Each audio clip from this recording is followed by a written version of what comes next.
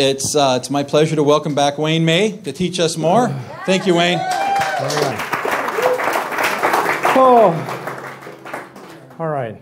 Um, what I have here tonight, it's not like a solid running presentation. Oh, thank you. I have pieces of information that have come my way and I've put together uh, during our almost 24 month housebound shutdown. Well, you know what I'm talking about. And uh, so, what I'm going to do is share this stuff with you. Uh, a lot of it for the first time. There's, I think, one thing in here that maybe Amberly has seen, but otherwise, it should be should be pretty well new because it's uh, it's just new stuff that's come my way. And uh, there's about three or four parts of it that are connected to like pharaohs, Jaredites, Adena, ancient Egypt, and I'll be putting together what's called a Jaredites 2 for my DVDs. And I'm going to share some of that stuff with you tonight. So, uh, with that in mind, you can see my first slide up here. I've got down, uh, this is my first Book of Mormon. Now, I, oh, that's great. Thank you. I think uh, if I didn't know better, it was quite a while for the joke playing, but Heavenly Father played a good joke on me. Uh, right here, my first Book of Mormon. When I was in college, uh, University of Wisconsin, I uh, refinished furniture. I bought antiques uh, up north where I live, which is five hours. I, my school was in uh, the southern part of the state, five hours away. So I'd come down with my antiques and I'd sell them down there, and I could I could buy for one and sell for two, you know, and I made a pretty good buck at it. The very day that I got baptized in 1970, I ran to the missionary 67, but in 1970 I got baptized. I had to really check you guys out, you know. So uh, anyway, I got baptized on a Tuesday. Uh, I drove home. This was in July. I got home Friday. Saturday morning, I was out bright and early to an auction because I, I, was watching one come up. It looked pretty good. And I know the uh, auctioneer's name is Bunny Humple. And uh, he's our auctioneer. And Bunny knows that I only want furniture, and of course, what do they do to keep the crowd? They sell uh, the kitchenwares first, you know, the living room, the, you know, the, the junk and whatever. And of course, I'm in the back, I'm hollering at Benny, Bunny. Said, Bunny, I'm going to leave if you don't sell some good stuff, you know. Anyway, he knew I was back there, so he, he grabbed a box of books, and I was, I'm going I'm going to tell you, I was, I was longer in this room away, uh, maybe this room and a half again. He holds up this box of books. And he said, okay, uh, let's just start it off. You'll give me $10. Well, no, nothing. Probably someone says a buck, and then number up to two, and then the three. My eyes focused on that box. And this is what I saw. Wow. An antique book. And all of a sudden, I'm raising my hand. Bunny's saying, uh, Wayne, are you, uh, this is not furniture. Uh, Bunny, I want, I want that book. So he, he just cut it off at six bucks. I got the box. I go up, I pull this out of the box, and I hear, sell them again, you know. I just want this book. So uh, that was odd, but that's okay. So I opened this thing up here, here's the third Chicago edition. Now, I didn't know this at the time, but the mission field at this time, this is like 1900, they were able to print their own Book of Mormons where they were. They didn't come from Salt Lake. They had their own printer house within the mission, and that's how they did, and they took care of it. And then, uh, let's go here not working. There we go. Okay. You can see it's a 1907. Uh, all the references are done by Orson and Parley Pratt. Orson takes the credit here. Now you got to remember, I'm, an, I'm a new guy in the church. I'm still, I still got water behind my ears. I'm getting dunked a few days ago. Okay. And look at this here. Ancient inhabitants were destroyed by the hand of the Lord upon the face of this north country. Look at the reference. North America. North America. Well, that was confusing. I thought it was in Central America. Well, I, whatever. It must be a goofy book, right?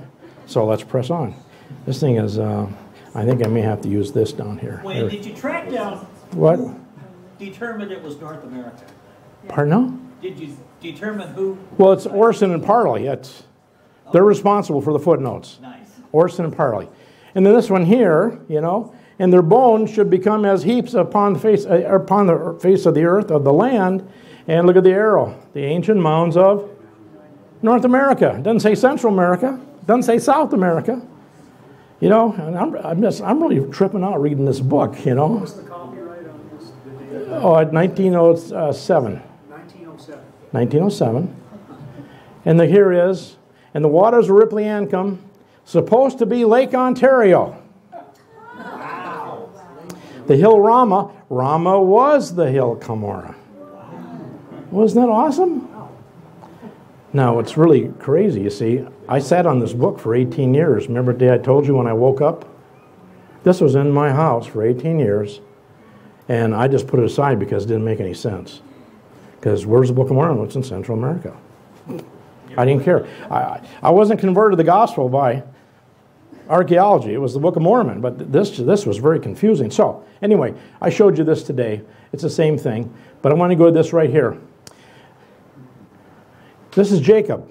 And behold, this last whose branch had withered away, green, look down to the green, 2F, Nephites. I did plant in a good spot of ground, purple.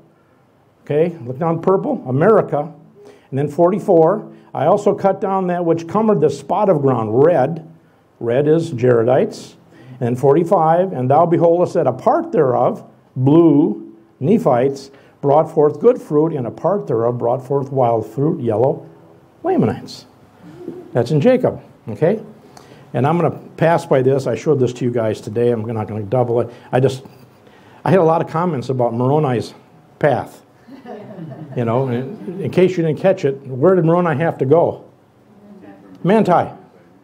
So he had to swing to Utah first and then come back to New York. Okay?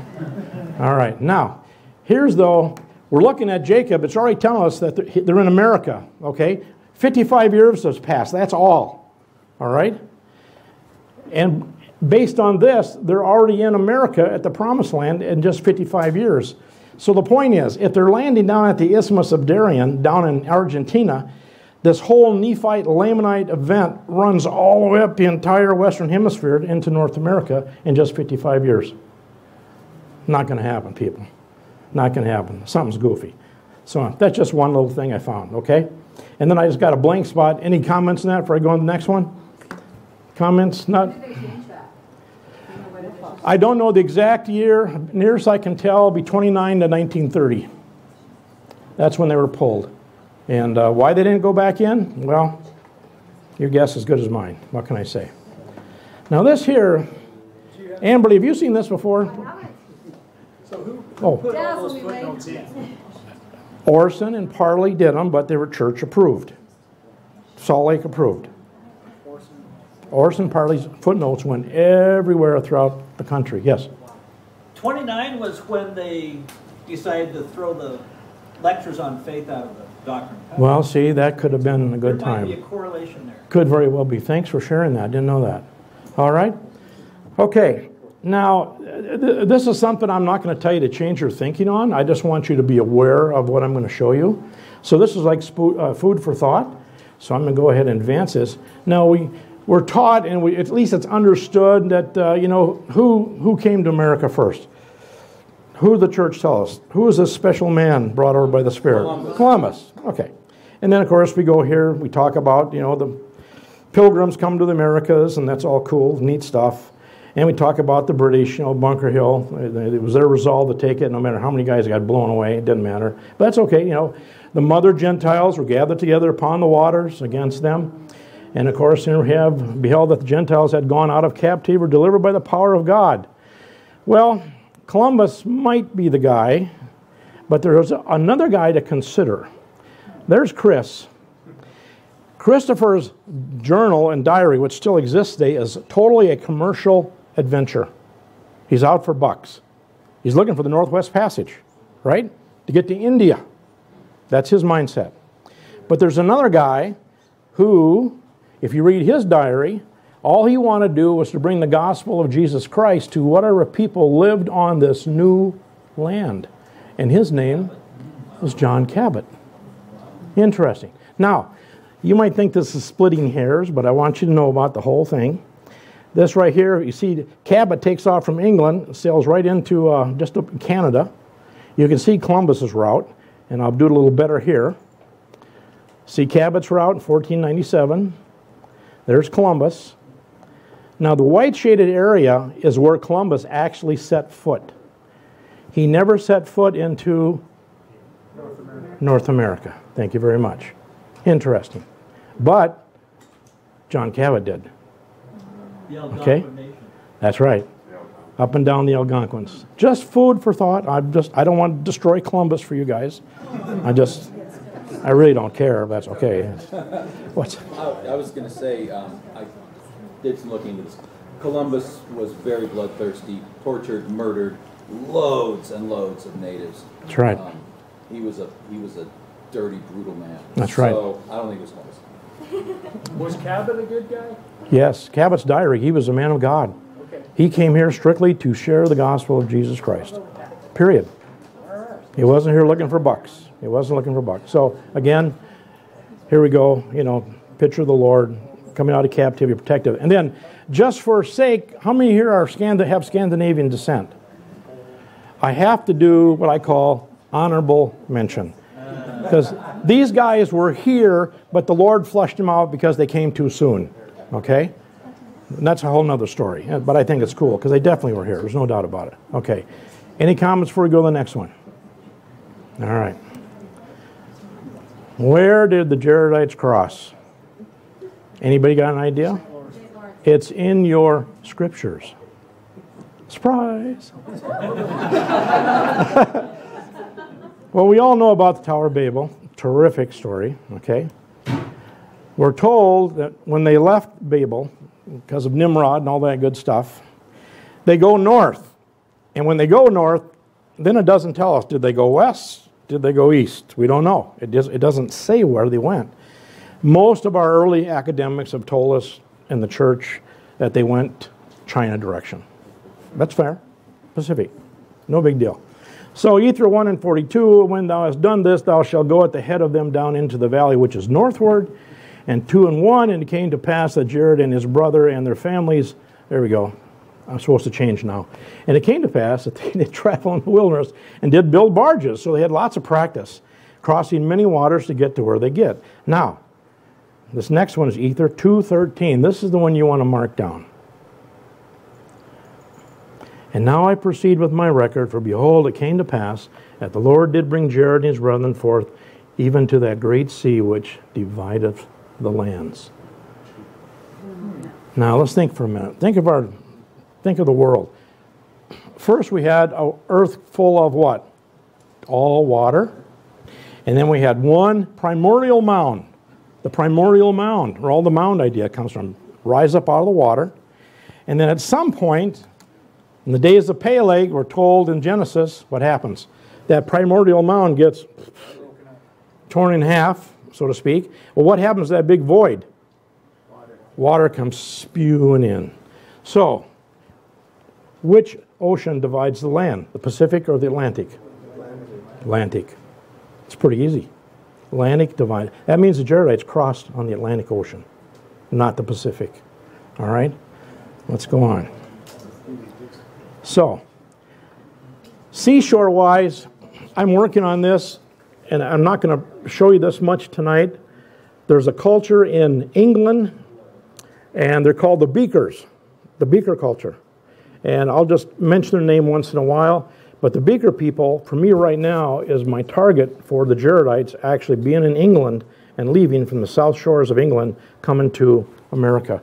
So just hang on to that, no big deal. Now, what's cool is that early on, I was reading a lot of books on Atlantis, and I come across this one here that the Egyptians said that the sea which divided the lands, to them, they called the false sea. And rightly so, yes? Rightly so. They call it the false sea. And so they understood what was going on. And then I got this guy, this Frenchman, who speaks French. You want to say his name? Le Plongeon. That's, that's good. The Egyptians themselves claimed that their ancestors were strangers who, in very remote ages, settled on the banks of the Nile, bringing there with them the civilization of their mother country, the art of writing and a polished language, that they had come from the direction of the setting sun. What direction is that? East or west? Thank you. And they were of the most ancient of men. So let's take a peek. Okay. West has to be home. And of course, there's always a chance out there that this may be a reality. I'm not going to say it's not, it could be. However, for them to be preserved and have everything they had, we know for a fact a lot of it had to come from North America because of what? Adam and Eve, Adam and Ammon, the whole deal. We know it, this had to be part of that, whatever was going on. So that was pretty neat. And then, of course, you got to remember on the Pearl Great Price, we've got Egypt being the first discovered by a woman, daughter of Ham, Hamitic. And then this woman discovered the land. It was underwater. Afterward, her son was in it, whose name was Ham. From Ham sprang that race which preserved the curse in the land. Pharaoh, the eldest son of Egyptus, was the daughter of Ham, etc., etc. So there's a lot of connection here. Now, I was thinking to myself, and this really, this was bizarre. Um, it was probably about June or July, and I was thinking to myself, you know, before I go out and present this, I need to have another source about this because this is too incredible.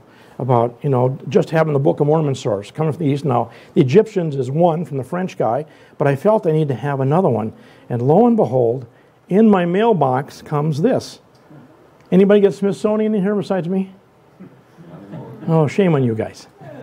Anyway, the September issue was all about the kingdom of Cush. You know, if we knew as much about Cush as we did about the Egyptians, you would really be surprised how cool these black pharaohs were. Cush is the root of the black African civilizations. Nubia gave black people their own place at the table, and that's absolutely true. This is a tomb in Egypt, the tomb of King, I can't pronounce his name, circa 650 BC in El-Kurru, the site of royal burials during Egypt's 25th dynasty, when Cush conquered Egypt and initiated the reign of the black pharaohs. No one talks about the black pharaohs, but they ruled for a long time. They were a real power. And then in the magazine itself, I'm going to pull out of there what these two uh, little quotes gave us right here. It was this place where the sun is born from the west bank, typically associated with sunset, and death that the ancient Egyptians believed was the source of creation. Again, that is what? North America? Okay? Or Atlantis, or a part thereof, whatever you want to do. But this, this is awesome. Good old Smithsonian. Defeating a coalition of Egyptian princes, this guy, I, whatever his name is, established Egypt 25th dynasty, whose kings are commonly known as the Black Pharaohs. And then this is another little tidbit right at the end. Look at this one. Think of your pearl of great price. In some religious traditions, Cush was linked to the biblical Cush, son of Ham, grandson of Noah, whose descendants inhabited the northeast of Africa. This, this, wow, this is awesome. This is, this is my backup. This is my next source. Not a problem. These guys understood what was out to the west. There was another land out there, and they knew it. I was talking with Adrian the other night, and I said, just imagine Imagine Noah sitting there, and you know he lived to be a great age. He probably had four, five, six generations of grandkids, right, sitting at his feet. And one of them says, Hey, Grandpa, tell us about where you came from. Tell us about the West. Oh, man, there's copper there. You can just pick it up, it's on the ground. Big trees, fresh water, lakes. It goes on and on and on, telling about where he came from. okay? Elephants. Lots of elephants. Big, three kinds of elephants. okay, so anyway, that's number four. All right, any thoughts? Whoops, go ahead. Yep. Uh, yeah, I was just going to ask about uh, getting into the Egypt side stuff. What's your view on the uh, origin time frame of the pyramids? Glad you asked. I'm going to say just a couple of things, and I'm not going to expound any more on that. Okay. I'll tell you right now, you're going to find out the Great Pyramid was built by Enoch. That's what you're going to find if you dig deep enough. And his son Methuselah built the Sphinx. And the Sphinx never had a head of a person, it was originally a lion. And that's, what I'm gonna, that's all I'm going to say. That is correct. Who was it that broke the face off? French. You mean the nose? Yeah. Turks use it for target practice. Turkey. The Ottoman Empire at that period. They, Who converted it from the lion's head to? oh, e- Egyptians' people early on. But Egyptians. originally it was the lion's head. A lion's head. Yes, sir. Absolutely. I don't want to say more than that. That's, that's another story. Okay, here we go. The Sutton story. This is really cool. Um, let's see. Yeah. This was given to me by one of my subscribers who just happened to be a member of the church. And when he saw it, he thought of me right away. And I mention this because this is always key. Helaman 610, Mulek's in the land north, Lehi's in the land south, and they won't see each other for 400 years. Very important because they're going to stay apart all that time. That's why when I showed that earlier map, that small thousand square mile area, it's just too little. They would have bumped into each other much sooner than they did. So uh, here's a little map. Lehi coming into Florida. Florida is the oldest Hopewell. Mulek is coming into the north, sailed into the upper uh, St. Lawrence Seaway. Now, and I use this from Dr. Sorenson. Um, what I liked about this, the other fellow that was there today, he mentioned this that the Mulekites had sailed across from the on the Atlantic, and that comes from Dr. Sorenson. And uh, this is about the only thing that him and I agree with. Uh, you know who he is. Uh, he's the leader of FARMS. FARMS is gone now, but he's still kind of around. But anyway, anyway, this is a uh, yeah. I totally agree with this, 100%, because when this happened, the Israelites sailed with the Phoenicians to go get their raw materials. If you go into uh, uh, Kings and Chronicles, you'll see all that information about how they worked together as, as ships, as sailors, uh, going places. So for Mulek and his company to leave and get away from Babylon, they would have had to have a Phoenician crew. Of that, I'm convinced. And the Phoenician crew could also take them to the mystery land across because the Phoenicians have been visiting North America since about 100 BC, very early. And we got proof to back that up. That's not a problem. So let's go on. So the Mulekites land in the north, and here's why this is important because they call that land bountiful. It bore upon the land of desolation. And the real key thing is at the bottom, it's the place of their first landing. Now, if it was their only landing, would it be necessary to say first? No. This implies they're going to land, they're going to maybe stay for a while, and they're going to pick up and they're going to go somewhere else and have a second landing, which I believe they did. However, Here's the neat part. This is the part that came my way from the King family. Now, it's really small. I will read this. This is out of a diary. A woman by the name of Dills, who was a Sutton when she was a girl, after inquiring who we were and where we were going, stated that she never had seen but one Mormon, and he passed by without her getting to hear him speak. Yet she believed that there had been this land had been inhabited by an intelligent people. She said her father was a stone cutter and lived on the Little Miami River in Ohio when she was a girl. One day, when he was quarrying stone, he found in a bed of rock all the bones of a man's body. He fetched them home and put them under his bed. Now, stop right there. he, hey, honey, look what I found today. Can, can he sleep with us? under the bed. I, I, I can't help this guy, okay? Doesn't he know to put him in the closet? Yeah, exactly. On the following on the following morning, he told his family that the man to whom the bones belonged had come to his side of his bed. The man told him his age and that he belonged to a people that were scattered from the Tower of Babel when the Lord confounded the language and they were brought to this land. Here they became a numerous people. Then they began to have contentions among them, and so in those days the Lord raised up a prophet who prophesied that if they did not cease their fighting, that he only would be left of all the people in the land. And that it did prove so that they were all slain except himself and the other leader. And he finally came over him and tarried until another people came and found him, and he lived with them nine moons and died. And they buried him there where Mr. Sutton found his bones. This testimony came about 15 or 20 years before the Book of Mormon came forth. Now, first of all, this is considered a secondary source. Now, I tell you right now, the boys at Book of Mormon Central, they're not even going to talk to me when I put this out. But I don't care. I'm going to put it out so everybody can see it because technically the Zelph Mound incident with all the guys' diaries, there's about, you know, 10 incidents on diaries. Well, that's all secondary.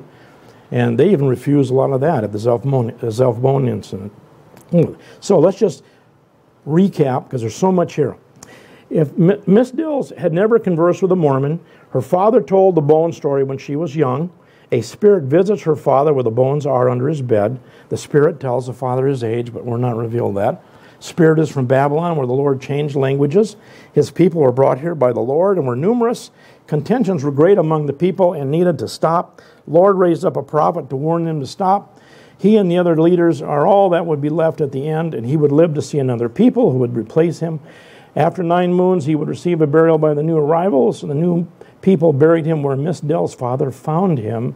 This happened 15 or 20 years before Book of Mormon was printed. Now, if you accept this secondary source, then you can accept this that the Mulekites indeed entered North America via the St. Lawrence. Because to find him where he was, they could not come up the Mississippi River. No way, no how. Mississippi, Alabama, Alabama is not the land north in my book. Coriantumr was found not far from New York, Cumorah, supporting what? One hill. Staying nine moons and burying Coriantumr on the Little Miami River would make it part of the land bountiful, next to the land desolation. Area around Lake Erie and Lake Ontario would be the land north with waters of Ripliancum. Let's take a look. Now, in all of Ohio, we don't find any mounds north of where it says Fort Ancient. There's no mounds. If, can you see the little teeny lines there streaking along? Can you see the lines? They're very subtle. Can you see those lines back there? I point them out.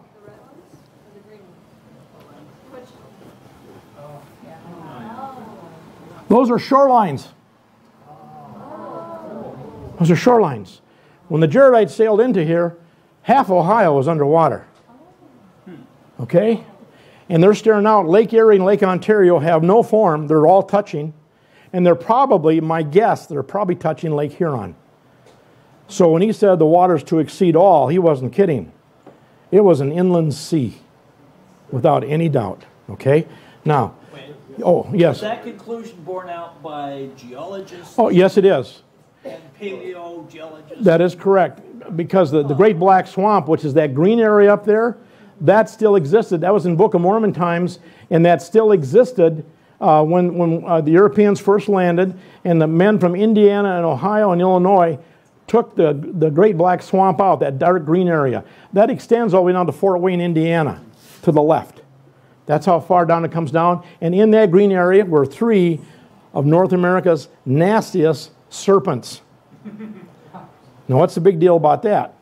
Because if we had the rest of the map, Lake Michigan's over here, and below Lake Michigan was the Great Marsh. The Great Marsh and the Great Black Swamp left a 50 mile gap. There's your pass into the land north. That's the passageway. And the serpents are there. And then, as I talked to the ta- earlier, when Hagoth leaves Zarahemla, he goes up into Lake Michigan because he sets sail north. He can't go east and west because the lake is like this. You know, he's going to bounce like a ping pong ball. So he goes north. But at the Great Black Swamp and at the Great Marsh was a huge tamarack forest, straight as candles, 50, 60, 80 feet high trees. Those trees were still there. They were taken down by our Europeans, and that entire lumber trade went to England to build sailing vessels in the 1800s. And I call that Hagoth's lumber mill. Right there. Okay? So what were the three serpents? Oh, man. Water moccasin was one. I'm trying to remember. Um, Cottonmouths, Cottonmouth was another. Yeah, there was some type of rattler, but they were there. They were they were so bad the Native Americans would not go into the uh, Great Black Swamp.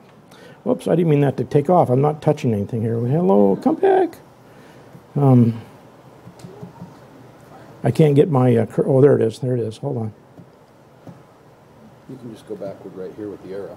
Okay, That one's forward, that one's back, yeah. There. Okay, everything is there. All right. I wanted just to point out a couple things here. Um, you notice down the very bottom, the Portsmouth Works. We're going to talk about that in a little bit. You see, you know, where they are. And then, of course, Coriantumr. He's on that little teeny blue line. That that is the uh, that's that's the little Miami. That little blue streak right there. And then uh, the Miamisburg Mound. That's Adena. Little Miami River. Of course, that those are all Adena mounds there. Uh, the ones right here are also all Adena mounds. And then Newark is Adena. And then way over at Marietta also. It's all Adena stuff. So it's just, uh, I mean, it's just tremendous. So let's go ahead and go on. Number five. Oh, question. So, uh, the Sutton story, was it actually recorded on paper fifteen to twenty? Yeah, guess who's got her diary? You. The Mormon Church in Salt Lake. They've got the diary. It's on file. You can go down and look at it. And we get we get, we got another one too. It's coming up. Hold on. I think What he's asking is, was it a contemporary account or was it reported later in the diary? Do we know? Have any idea? Um, her diary was written by her later on. It wasn't written the day it happened. She wrote it herself at a later date. So she was. But even as she died, she, she, she, she never ever met a Mormon and talked to him. That was her testimony. She never met anybody in the church. That's what made it awesome. Okay, this one here was really a surprise. I know all of you have seen this probably. Kinderhook plates, 1843. They found six of these um, around an Adena uh, mound that they dug up, and the guy was uh, extremely large. B.H. Roberts talks about. Now, the critics of the, of the tablets, they, they claim that Joseph Smith did not translate the six little tablets. Well, that is correct. He did only translate a small portion because Wiley, the guy that owned them, when he came to Joseph's house, he allowed Joseph to examine him for one hour. And then he left. So Joseph didn't, couldn't look at him any longer than just an hour. And then, of course, here's the guy. They found a skeleton about six feet from the surface of the earth, which must have stood, must have stood nine feet high. The plates were found on the breast of the skeleton and were covered on both sides with ancient characters. I have translated a portion of them. And they find they contain the history of the person with whom they were found. And here's the, here's the real hook he was a descendant of Ham through the loins of Pharaoh, king of Egypt. And he received his kingdom from the ruler of heaven and earth. So, what's that guy doing in Illinois? I mean, this, this is I mean this is this was tough to swallow. When I first read this, I'm trying to think, how in the world did this happen? Okay. Now, Parley P. Pratt, who was with Joseph as a scribe on many, many times, we all know this. Parley wrote something that was quite unusual. Six plates having the appearance of brass. They have been dug out by a mound of a gentleman in Pike County. They are small and filled with engravings in the Egyptian language, and they contain the genealogy of one of the ancient Jaredites back to him. What? What? They contain the ancient Jaredites back to. Well, what do you think of that? Do you think Parley would just make that up? I, I personally believe that Parley heard that fall from the lips of Joseph Smith that this nine foot guy was a Jaredite. So here's our Pharaoh connection, here's our Egyptian connection, here's our Jaredite possible connection. And he talks about it. Why couldn't Joseph step out at this time and talk about a Jaredite? Because a descendant of Ham, that makes him what color? What's going on in America? Abolition. What's Joseph Smith involved in? Running for President of the United States, and he's going to tell the world there's black guys buried in the mounds.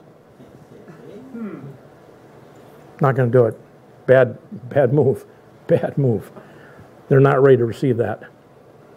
He'd have been done if he'd have brought that up. But Parley told it the way he saw it, and I believe Parley heard that from Joseph. Now, that's just my understanding of the time. And then we have here William Clayton. He backs up everything in Joseph's journal that Joseph did indeed translate a portion of the plates, not the whole six, but just a portion. He backs that up. And this guy here, whoops, went the wrong way, sorry. And this guy, William Clayton, here we go. And then this here is George D. Smith. The Kendrick statement was approved by Brigham Young. Ed Asmund's notes that Brigham Young saw the plates while present at Joseph's house and included a sketch of one of the plates he saw at Joseph's house in his diary.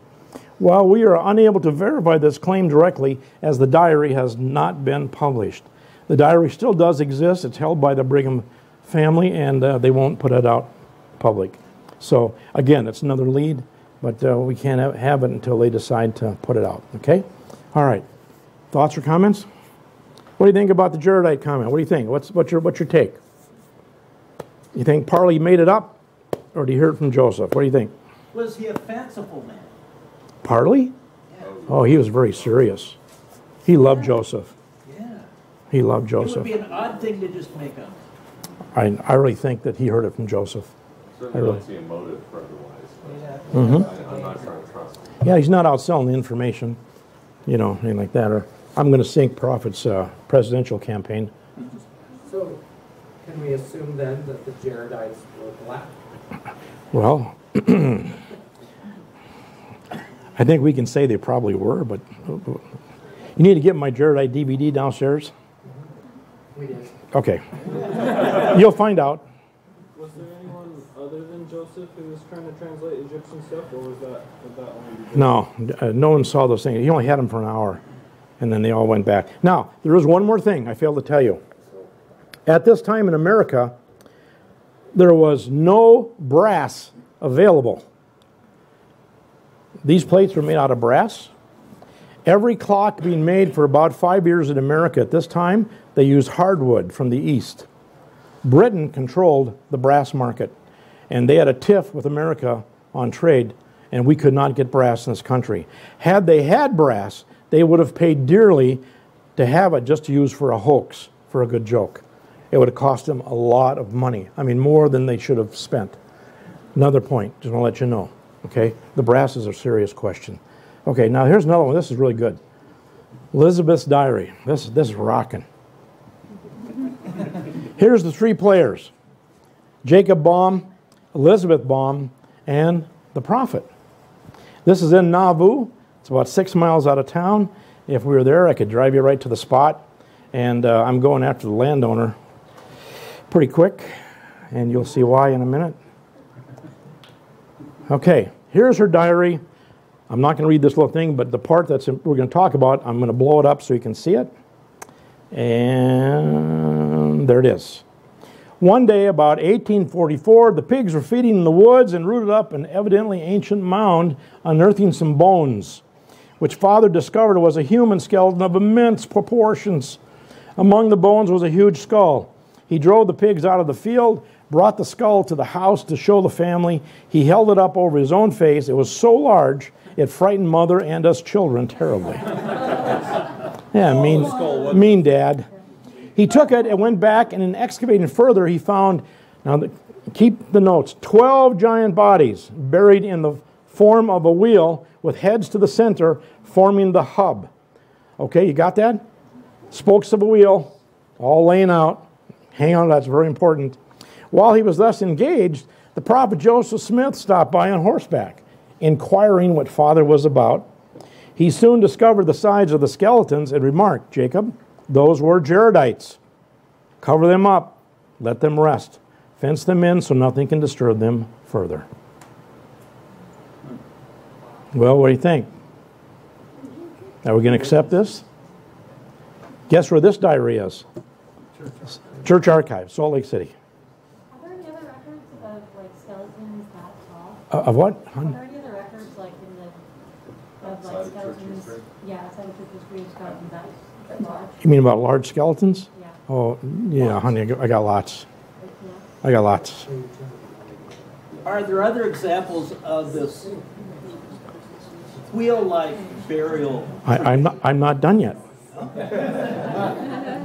We're looking for reasons. I, I'm, not, I'm not done yet. Okay, so let's just highlight skeleton of immense proportions, huge skull taken to the house, skull so large it frightened the family, 12 skeletons buried like the spokes in a wheel, all heads to the center like a hub, between 7 and 8 feet tall. Prophet Joseph arrives, identifies the skeletons as Jaredites, cover them up, let them rest. Now, I put this together so you could see what it must have looked like. Hancock County, there they are, spokes of a wheel. Are we all in agreement? Now I'm going to show you a burial that we find in Ohio, Indiana, West Virginia, and Kentucky. Are you ready? Go. It's the same. Except three people got their heads between their legs. Why? I don't know. My point is, this has been identified as an Adena burial by our non LDS archaeologists. We got our journals. We got them. I'm, I'm, I'm ready to scream it from the housetops. Oh, pl- fire. Would the skulls between the legs indicate that they've been beheaded? Well, they, obviously they've been beheaded, but Like, you know, just Um, a disgraceful burial? maybe it shows that maybe it shows that they're women and they birth children. I don't know. no. I, I have no idea. I have no idea. What do you think of that? Are you ready to accept the Adena as Jaredites? I am. I am. Do you suppose there's 12 to, to symbolize a clock? Or is there some other. Zodiac? There we go. I don't know. That's just what they did. Well, this is before the. This, this is a very good Adena burial, very typical. Hey, wait. Yeah. wait, Is Oh. the, is the, is the hub made of anything, like stone, is there, what's? No, it's just it's just dirt. It's, it's, yeah, it's just a pile of dirt that they they worked around. So would these be sacrificial burials? Uh, no, no, no. These these have been laid out very nicely. Like a holy man, would they be a family, what, like, were they, so being the same size of ish, you know, ish, so we're not looking at children and, They're they're all adults, adult males. Would they all have died at the same time, or would they just be buried Well- they? They uh, they did they were used to pile them in big piles with minimal dirt. So I mean, that's the battle mounds. This this is great care here. Uh, we- we just don't know why they did this. It was a quorum of high priest stuff. There you go. Fell asleep at once. they were bored to death. Okay. All right. Um, here's just a one a one piecer. I got this. I was at a uh, a 400 acre compound, all fenced in, um, a polygamous group, great people, uh, southwest out of Independence, Missouri. I've been there twice, and uh, a little gal came up and gave this to me, and I have treasured it ever since. The Potawatomi Oral History. This was gathered by Milton R. Hunter. We know who Hunter is. Some do, some don't. Milton was a 70 in the church. He wrote a lot of books on Central Mesoamerica. And near his uh, death, he was beginning to switch. He was beginning to swing uh, one hill.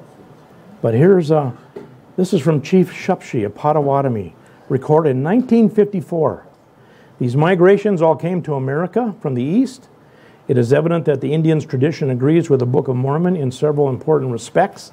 The people who came here were led by the Lord, according to Chief Shupshi, and also according to the Nephite record. He said, and I quote, that one group of colonists came to America about 4,000 years ago in boats like tortoise shells. A dish unto a dish. The Mulekites, the Jaredites, are mixed together, or I should say, the Adena. They're, they're, they run together. First of all, I'm going to be able to show you that all of the Jaredites did not die at 600 BC. In the land of the many waters, perhaps they were all dead. I don't have a problem with that. But being here 1,700 years, these guys had to be in California, Mexico, maybe even Alaska. I don't know where they went. But they wouldn't stay around Lake Erie and Lake Ontario for 1,700 years. It, it just, it's just not logical. Okay? And the archaeological record will back me up on this and show that these guys mixed with the Ojibwa Indians. And uh, I'm putting all this together into one big happy story. Okay. Now, DeHaas and Cheney. Um, I really respect both these guys because uh, they told it like it is. Uh, DeHaas worked for the Smithsonian, and because he did that, he lost his job. Cheney worked for the state, and uh, he kept his job. That's the difference. Here's what happened. DeHaas was hired and worked by under worked under John Wesley Powell. He was his right hand man. He was going to go do everything in Ohio and the, the whole western uh, part of the country. Southern Ohio, Mound Builder area. He was assigned to Portsmouth. That, remember that place at the bottom.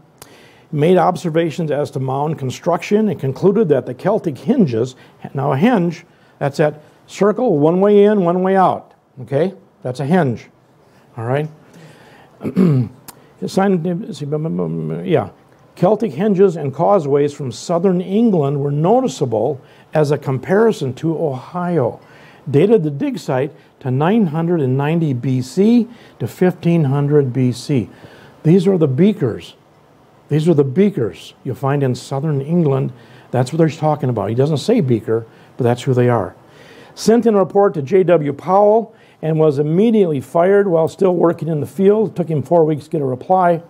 He wrote an approximate 100 page paper defending his work with the mound builders in the Ohio Valley. It was never published by the Smithsonian and is somewhere in its deep recession of hidden material.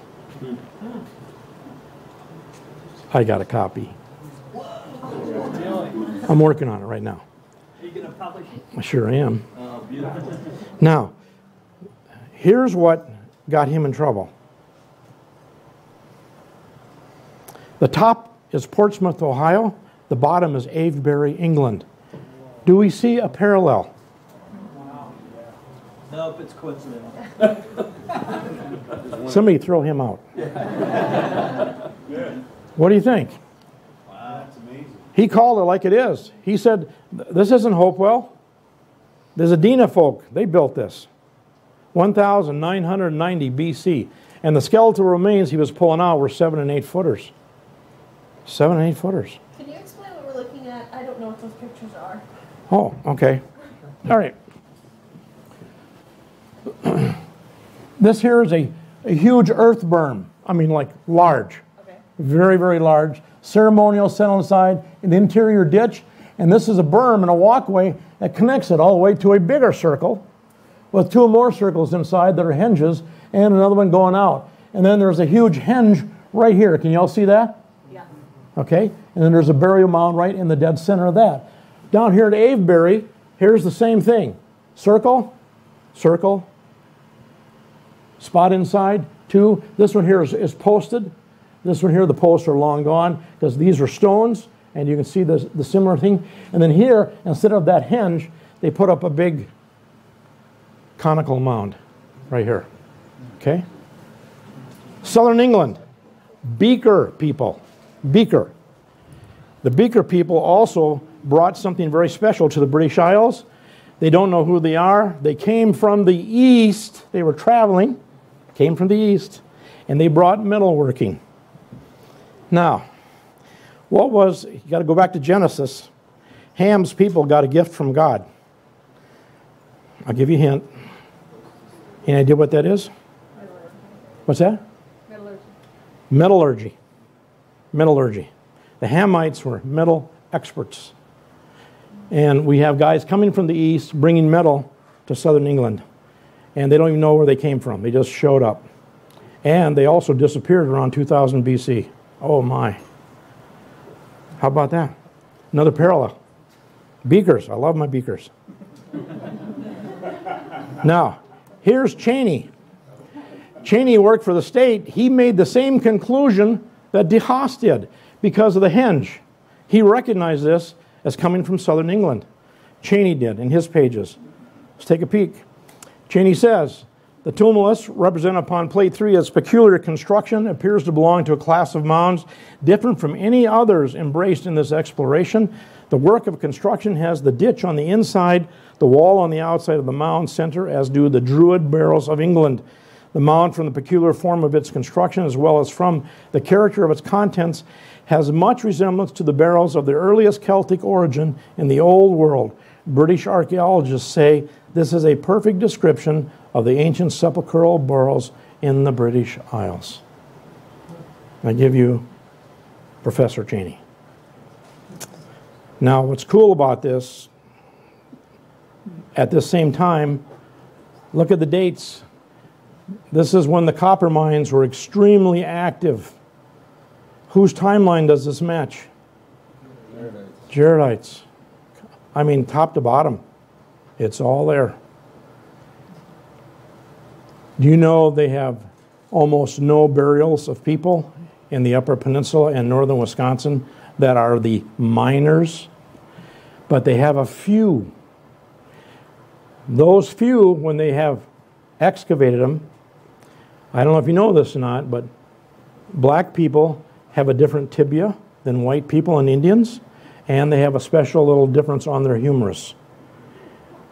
The bones that came out of Upper Peninsula all belong to the black race. What they have done with that, they have buried it. To show you their ignorance, they couldn't understand how African slaves could be buried up here in the ancient copper culture. You see, they're just, they're not even close. Not even close. Well, and Wayne, Yeah, oh, fire. yeah, so maybe make this, point it's really interesting as far as metallurgy goes. I mean, it's, it's a pretty uh, complicated science. It's not just, you know, it's not easy. And, and so you're talking about these mines and, and this metallurgy they had.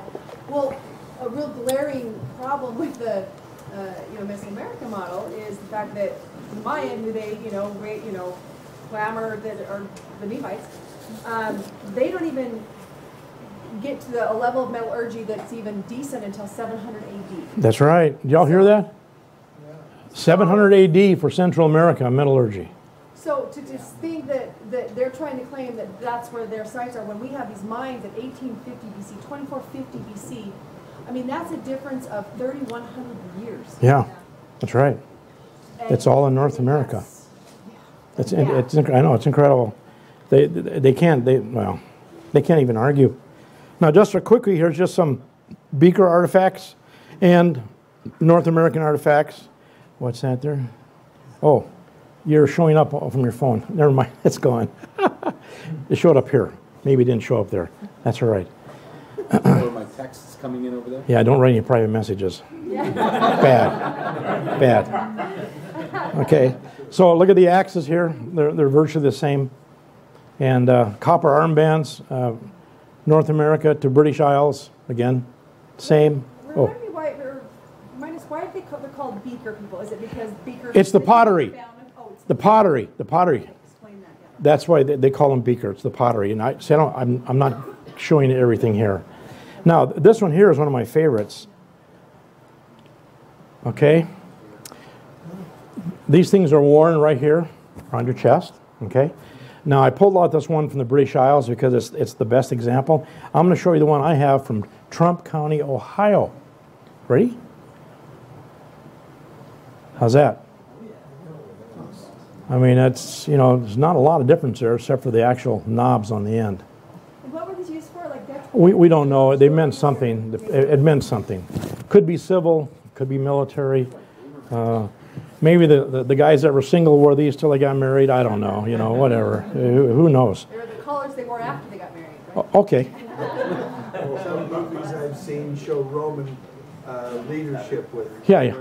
Yeah, and, and- yeah. There's a name for them. Uh, actually, the Goths, uh, the, the Goths in France, wore the same thing around around there for a long time. But otherwise, they were buck naked when they went and fought the Romans. They just had this one thing on their chest.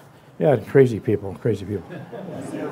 So then here again, just so you can see, here's Ohio, Kentucky, Ohio, and then there's England up and down the, the right side. See? The barrels, they're all the same. They're just the same.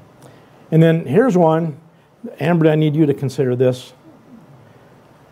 You recognize the henge. Now, in the old world, the henge w- represented the womb of the female. Fertility rites, birthing was highly regarded. And we have these pregnant women, but th- these were of, of great worth to our earliest, earliest of people from the time of uh, Noah after the flood. Uh, this is the earth mother goddess, and these are the hinges that they represent. And I'm going to show you a couple of hinges real quick here in America. That's Anderson. That's the drawing. What you see there to the inside. These are sacred centers. And this is my favorite in Indiana. The archaeologists in Indiana are the only ones will admit that the hinges were made by the Adena people or our Jaredites, but they were remodeled by the Hopewell because they had the same astrological settings that they use, same calendar fixes. So here's the problem, you see. We come over, we excavate this mound, and we find wood, but the wood that we find left in there was placed there by the Hopewell when they remodeled on top of the Adena. So we get a Hopewell date, but the construction is done by Adena. It's Jaredite. 1700 years, the Jaredites had to leave some kind of form of city, and we have nothing. It's all Hopewell. And I'm saying something's wrong with this picture, and I'm going to show you something else. Just hold on. I got more. Here's a hinge. I showed this a little bit today. I made a comment about the elephants. Again, I think the, the Adena here, our Jaredites, they really appreciated the American pachyderms, and I mean, they're just honoring the guy. They put an effigy inside a hinge. Okay? Now, here's the good one. This is done by archaeologists. Uh, this, is- this is Dr. Um, let's see, Dr. Baby. It's not Baby. I got to think for a minute. I'll catch his name in a minute.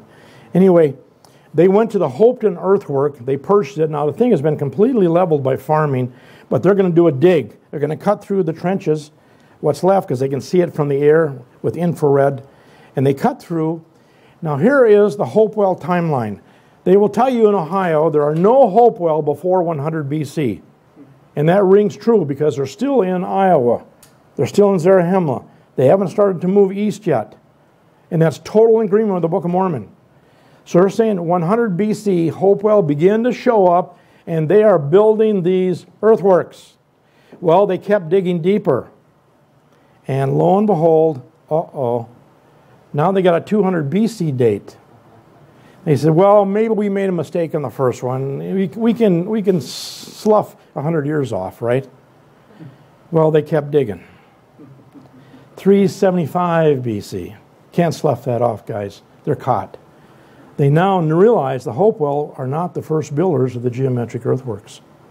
It's the Adena. It's our Jaredites. Okay? These are their cities that the Hopewell have sat and squatted on top of. Okay? A pretty sight to a Adena guy at 2000 BC was just as good looking to a Hopewell guy in 500 BC. I want to live here, and they build their stuff on top. And then we come along, and we build our stuff on top. What is Cincinnati on top of? Cincinnati, Ohio. It's on top of the Shawnee Nation, their capital, called Prophetstown, of all things. Totally squatted on top of it. You can't find a thing today. So we do the same thing. Here's the geometric earthworks, and Nephite, Jaredite, Jaredite. Okay? All right. Questions or comments? Just to be fair. Oh, back there. Um, a couple slides back, you were showing um, a, a slide with like six different pictures of, of mounds, and you said everything on the right side was from England, but one of them was labeled Ukraine. Is that of any significance? Yeah, you know, it just well, it's just showing us all the way out there to the east. Yeah, they're they're there all the way across to southern England. Okay. Just going to comment, Wayne, to, to be fair, that idea of building on top of older locations, that happens all over the world. All over the world. And all the time archaeologists are surprised Yep. when they happen to dig down deeper Yeah. and find that there was something else there. Or they decide to conveniently stop. This is it. Yeah. Everywhere. Including here. Instead of redoing it all? Yeah. Who? Oh, I grew up in St. Louis, just outside of Oh, where the sure. Cahokia Mounds Yeah. are. Yeah. Do those play any part in any of this? Well, they're they're post Book of Mormon. They're 900 AD. However, in the northeast corner of Cahokia, the mound itself, there is a stone structure built by the Adena. They know it's there, but they can't go after it because if they strike out that corner to open it up, they get a good rainstorm, they're going to have massive erosion, they're going to hurt the whole mound. And that's the quandary. Otherwise, they would have done it. They found it about 10 years ago. So they know it's there. Okay? So, and you can't really blame the Hopewell because a, a lot of those mounds, like you they're ceremonial and they're already aligned. Finding those moon, those lunar alignments That's right. extremely Oh, yeah. I'm not blaming. They, 19 years to figure it out. So they get, they're like, oh, the, the work's done. Let's just use it as for our ceremony and stuff because it's so complicated to redo it. Why, why, why? re- Well, why reinvent the mousetrap? It's already there. And I, I agree with you. Yeah. There are places in scripture where the Lord says the remnant will take over the cities that are empty Okay. of the Gentiles. All right. In the end, in Yeah. the end times. Continuing on the pattern. Okay. Okay. All right. Now, ready for this one. This one will be a lot of fun. Um, any, were any of you at Rod's conference before we shut down when I showed the Maya? One hand. Who the Maya are? Ooh, this would be this would be fun. Okay, Dr. Michael Coe, Yale University. He is the expert in Maya for all of North America, and he makes fun of Book of Mormon archaeologists every day. This here is Palenque. It's one of the favorites. And uh, yeah, let's go on. The buildings in Palenque were constructed in Ottalam times, beginning about AD 600. The earliest dated buildings in Palenque are over two centuries after the final destruction recounted in the Book of Mormon. Michael D. Coe, professor of anthropology at Yale University, commented on the difficulty of dating the ruins of Palenque to Book of Mormon time period. How is one to reconcile this dating Nephites from 600 BC to AD 385 with the flat statement, we'll come back to this, of Joseph Smith himself that Palenque was a Nephite city? This Maya center was built after 600 AD, according to all modern scholarship, 215 years after the Nephites had been wiped from the surface of the earth. I can only sympathize with the Mormon scholar who has to work that one out. now, what's the deal about Joseph Smith? He didn't say it. okay, the deal is when Joseph was the editor of the Times and Seasons. When the Times and Seasons was printed and was ready to go out to the street, that last page where his signature was, it was you know a built-in like a stamp signature. He would sign his own name. Joseph's name does not show up on the paper that claims this statement. The statement is there, but Joseph was in hiding on one of the islands in the Mississippi. We have tracked that down. I should say Jonathan Neville tracked it down. He did a good job on it, identifying where Joseph was. He was in hiding. But they put this out anyway because his brother, Winchester, uh, uh, William Smith, and then the other guy, Winchester, they were in cahoots and they, they were pushing, already pushing for looking at the big buildings in south of the Rio Grande. So that's the story on that. All right. And then we've got, of course, this here. Uh, Sorenson puts this out. If, if you had the, uh, the ensign in 84, at the Maya and Nephi are the same, and that really ruffled my feathers. Um, so I said, Who are the Maya? And when I got into this, this was, this was a shock for me. I did not know this. This was all new. Hindus in Central America. Hang on, it's going to get nasty. 1849, the United States, Central America, Ephraim Squier wrote, a proper examination of these monuments would disclose the fact that in their interior as well as their exterior form and obvious purposes, these buildings, temples in Palenque, Palenque, correspond with great exactness to those of Hindustan, India. The eminent scholar Miles Poindexter, a former ambassador of the United States to Mexico, in his two volume 1930s treatise said the area Incas called the Maya civilization unquestionably Hindu. There are so many cultural similarities. Whoops, where'd that go? Hello, bingo. there are so many cultural similarities between the Hindu and the Maya civilizations that it makes it very easy to point out towards a common relation. Now, here's the, here's the thing every 10 years or every decade, a major work has been done on the Hindu and the Maya connection. And our academics in the anthropology department at BYU has allowed this to go on and letting us think that the Maya are Nephites, Jews, Hebrews. And I'm telling you, that, that really sets bad in my craw. this is public information. This is not a secret. This is not, a, they, they have to know this stuff. That means it's been deliberately covered, in, in my estimation. Here's another one. The Maya of Yucatan offered animal sacrifices to the gods in the same way as done in North India at the same seasons and determined by the same stars. Maya scorpion stars were the same as the constellation Scorpio on Hindu charts.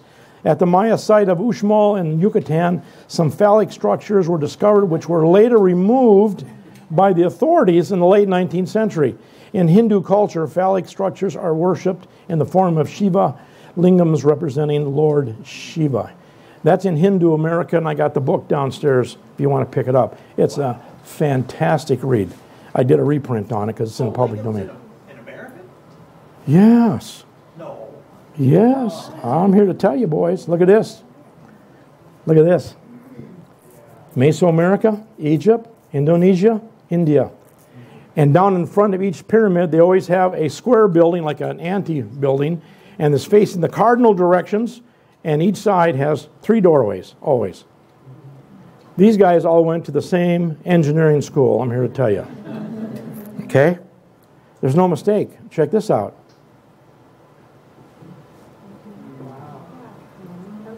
Island of Bali, Mesoamerica, the big serpent coming down the staircase. Well, here's the staircase. Okay, yes. When you were showing the hewn stone thing earlier, hmm um, I've been to Bali a few years ago, and that's what it made me think of, was like all the things, all the carvings in that. Right. Exactly. Look at this is this is a good one. Angkor Wat, Tikal. Not bad, huh? Chichen Itza and Cambodia. Wait, is that, is that the Chichen Itza in That's the one. That's it. The one you see in all the church paintings. The one they've been to But there's one in Mexico too. Yeah, this is it. How come it says It's just mislabeled. I, maybe it's just mislabeled. I, Mexico. it, okay, then. It's still in the wrong place. So Alma's Book of Mormon tours in the, in Cancun area are full of themselves? The first time I met two adult missionaries that had been down there, uh, I, was University of Minnesota. I was given a, a, deal over there to the to the seminary, the the college class, whatever you call that. And uh, when I finished, uh, these two people, two adults, they came up, and they just said, "Wow," he said. I've never seen this stuff before. How come I haven't seen it? How, where has it been? I said, well, it's it's out here. It's just everywhere. You have to look, you know. And he said, Well, he said, I believe it. And he said, You know, we were down there before we came on our mission, and we got off the bus at one location, and we stepped out, and our guide said, Welcome to Zarahemla. And we went and saw this pyramid and saw that pyramid. We got back on the bus, drove to the next stop, stepped out of our bus. Guide, a new guide shows up. Welcome to Zarahemla. And he said, This went on four times. Welcome to Zarahemla. So I said, Well, you- you're lucky it wasn't welcome to Cumorah because that doesn't end. There's a whole bunch of Cumorahs. But anyway, what I was going to tell you in, in India, on Hindu country, these guys were sailing the ocean deep, 4 and 300 BC, with two and three masted sailing ships. Now, they were way ahead of everybody in their time. I mean, way ahead. They're called the Kushanas. Big trade network, a lot of bucks brought back into India. And guess who delivered the Hindu missionaries to North America? The Kushanas. Hindu missionaries, North America. Look at this. Notice the forehead, notice the nose. Are these four or five all the same? Pretty much, right? They all look Mayan. And look at the ears. The one on the right bottom, that's in Mexico. The others, excuse me, that's in uh, uh, Borobudur. The others are, are Mexico Mayan. The point is, it's, it's the same. Just, it's just incredible. And then we find out the archaeologists right now are into a big tiff. And, and the, the division is who brought corn where? Did the corn come, the corn come west to east or east to west? And the, the one team says the Hindus brought corn to America. And the other team says no, corn came from America to you know, Hindus. But that's, that's a big fight right now, which I'm not involved in. I just want to show you what's going on because they got corn in all these same images. It's a big fight, but let, let them duke it out. Now, look at this one here. This is pretty cool. Java, Assyria, and Ecuador. So, what's going on here? Who's sailing around the ocean blue? It's not Columbus, right? No. Now, get away from this. This is the other connection, is the architecture. This is called corbelling. The Maya have been doing corbelling long before the Book of Mormon, but they did it in tombs, underground. Nothing above ground, underground. And then eventually they started coming out of the ground around 400 AD and building all their buildings. Angkor Wat, same time. Of course, Pyramid of Giza is a little bit older, but again, it's corbelling, the same. And then I'll show you when Mulek and uh, Nephi leave Jerusalem with Lehi, of course, they are looking at the true arch. The true arch. Now, let's check this out. In masonry construction, the true arch is formed with a continuous line of wedge shaped stones, while a corbel arch is formed by a series of overlapping stones. Compared with a true arch, a corbel arch is less stable and less efficient at converting tensile force into compressive force. My argument why would Lehi, Nephi, Mulek, why would they go backwards and build the corbelled arch when they've just come from a place that has the better arch? Why would they go backwards? I don't think they would. Another reason to stay away. So, anyway, this is where I published my Hindu America stuff, and I got it down there on a DVD, just so you know. And there's a whole lot more. Um, remember the Red Book scare? And all the Chinese youth went nuts, started killing all the professors and learned people in China. You remember that? Uh, it was it late 60s, early 70s? Red, the Red, Revolution. yeah, Cultural Revolution, okay. What did the Dalai Lama have to do? Did he stay in Tibet? No, he left. Where did he go? America. Black River Falls, Wisconsin. He came and lived with the Ho Chunk Indians because his missionaries had been there before. The Ho Chunk know the Dalai Lama. Yeah, that's in my DVD. So, now, I saved the best for last. I have two more. Do you guys want more? Yeah. You sure? All right. I, I don't want to have you lose your sleep now. Oh, I wish I'd go home. I'm sorry. Anyway, okay. Searching for Zarahemla, east bank of the Mississippi River. This is what's called the bean by the locals. And uh, that very little point down there, if I can get to it, this, um, just so you get acclimated. This is Nauvoo. Nauvoo is right here.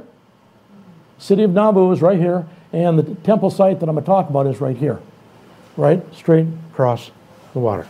Okay?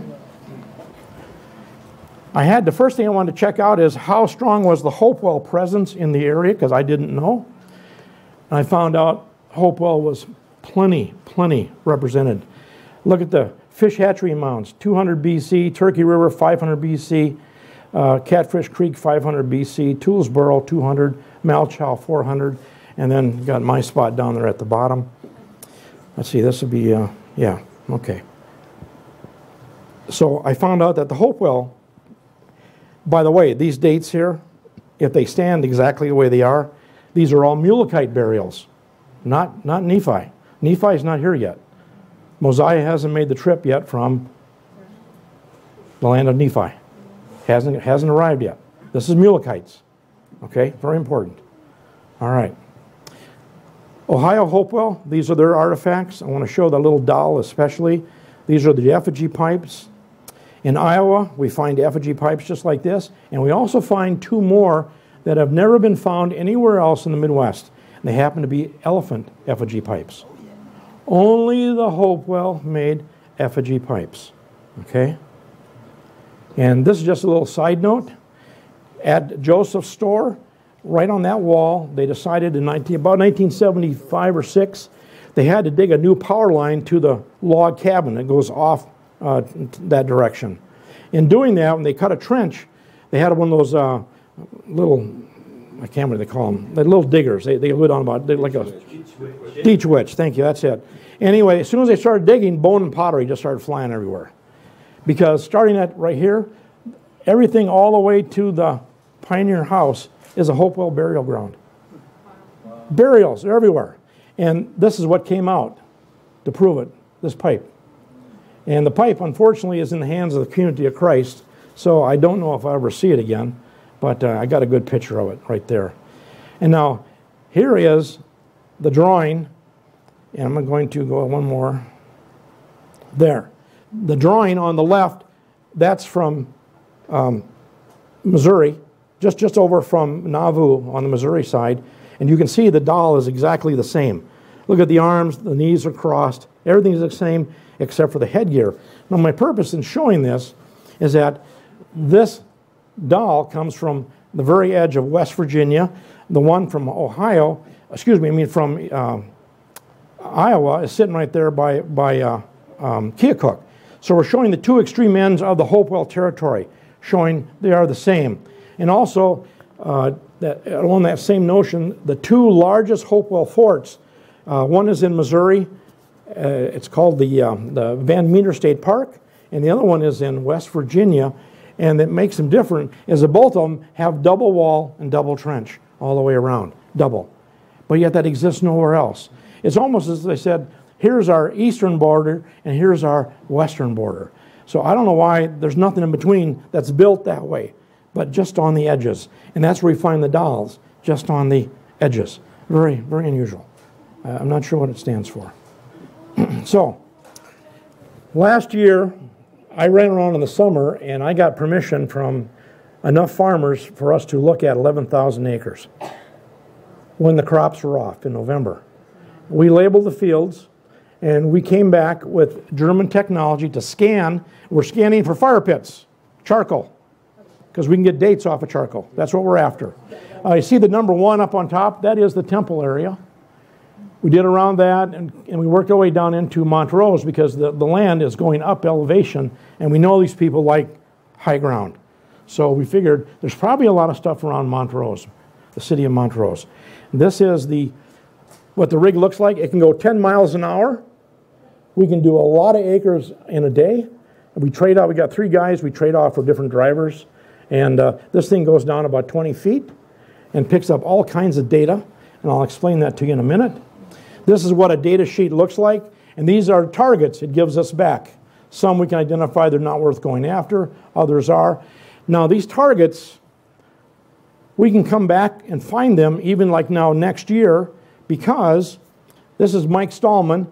We have a thing called a, a, garn. He's holding that little blue box, that's the garn. Now, above him is an antenna. And check this out Iowa is the only state in the whole USA that has an, a cloud over its entire state, a grid. And so we tap into that grid with this blue deal and this antenna, and we are connected to that grid.